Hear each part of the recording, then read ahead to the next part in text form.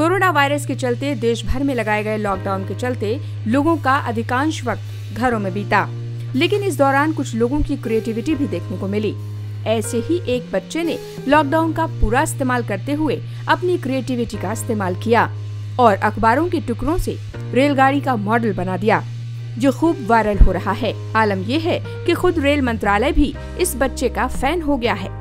दरअसल, केरल के त्रिशूर में रहने वाले अद्वैत कृष्णा नाम के एक 12 साल के बच्चे ने अखबार के पन्नों से ट्रेन का एक मॉडल तैयार किया, जो इतना शानदार है कि उसकी तस्वीरें और वीडियो सोशल मीडिया पर जमकर वायरल हो रहे हैं रेल मंत्रालय के आधिकारिक ट्विटर हैंडल से भी इसकी तस्वीरें शेयर की गई हैं। इतना ही नहीं, ट्विटर हैंडल से बाकायदा एक वीडियो भी पोस्ट हुआ है, जिसमें बताया गया है कि अद्वैत ने कैसे इस मॉडल को बनाया है मंत्रालय की ओर से किए गए पोस्ट के कैप्शन में लिखा गया है, केरल के त्रिशूर के 12 साल के मास्टर अद्वैत कृष्णा ने अपना रचनात्मक करतब दिखाया है और अखबारों का उपयोग करते हुए एक मनोरम ट्रेन मॉडल बनाया है।